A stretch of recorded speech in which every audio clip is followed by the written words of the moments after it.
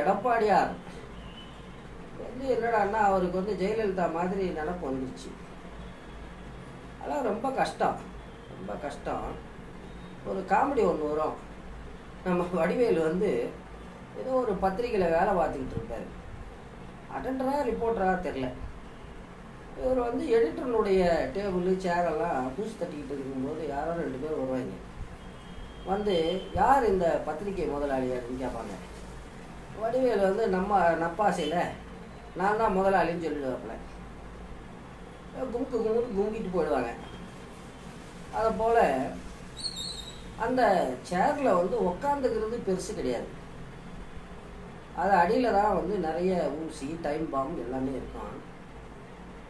இப்போ எடப்பாடியாரை பொறுத்தவரையில் அவர் வந்து ஆரம்பத்தில் வந்து ரொம்ப அடக்கி தான் வாசித்தார் அம்மா சேம்பரில் உட்கார மாட்டேன். அம்மா சேரில் உட்கார மாட்டேன். இப்படியெல்லாம் சீனை போட்டுக்கிட்டு இருந்தார். இப்போ அவருக்கே வந்து ஜெயலலிதா மாதிரி ஒரு நடப்பு வந்துருச்சு.